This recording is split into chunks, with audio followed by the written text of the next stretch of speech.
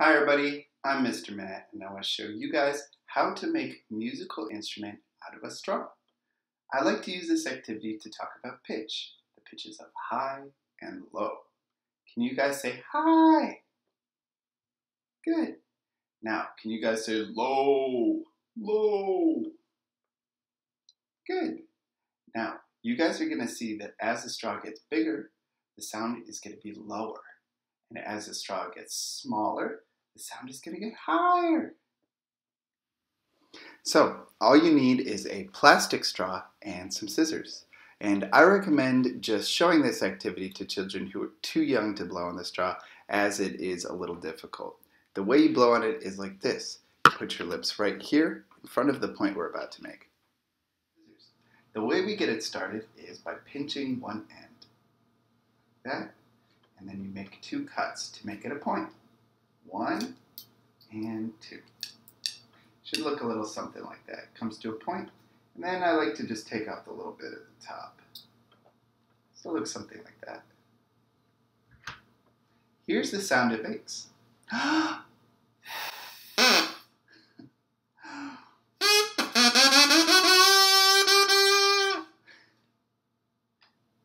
So, here's how we can have some fun with this. Here's the original sound.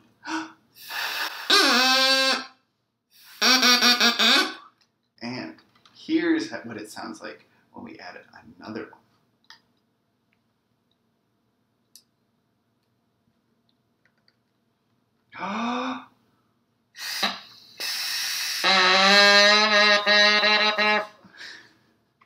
so that's two. Now we can pull it up. Here's what it sounds like. Now, what would happen if we cut it in half?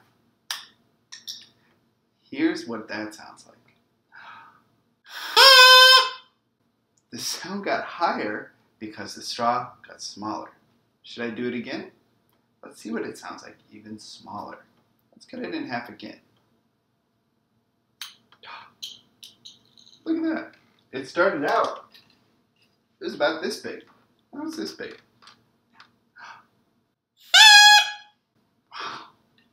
Try that one more time. Do you think we can cut it in half again and have it make sound? Look how tiny that is. Should I do it?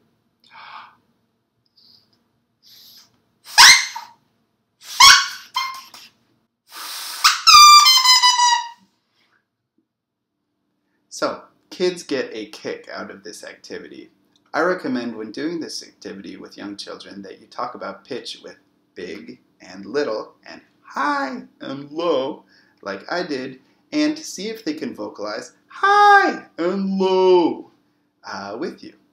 I recommend that children be about, you know, school age before they try the straws themselves. Have fun, try this at home, and be safe with those scissors.